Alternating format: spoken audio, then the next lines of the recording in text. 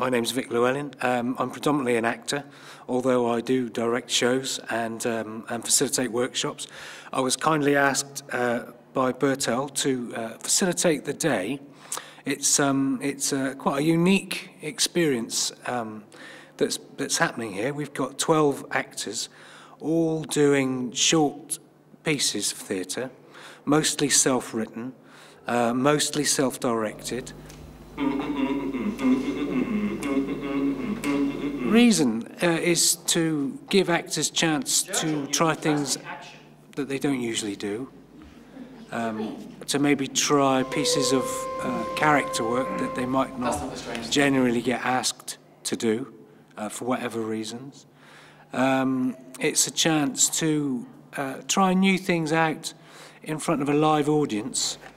Oh, fuck it! And what's particularly interesting about that experience is that the audience get the chance to directly feed back uh, their experience of the evening. It offers a lot of variety, the 10 by 3 event, and we're very excited to be part of it. Uh, doing a short scene, which is part of a longer play, but it works in isolation, so it's uh, nice to be part of it. And as I say, it's an exciting event which offers diversity to the audience. Hi, my name's David Bailey. Um, I was at the first 10 by 3 uh, back in June of this year, and I'm really pleased to be back again. It really is a great night. YouTube, sat nav, you never had any of that in your day, did you? Now? No, I say we bloody didn't. That's why my generation invented all that stuff. Um, I've actually written a three-minute piece, uh, which I'll be performing as well, and I find that a real challenge, you know, to get to get um, the essence of a character in just three minutes, and hopefully perform it reasonably proficiently so it's uh, the message gets across to the audience.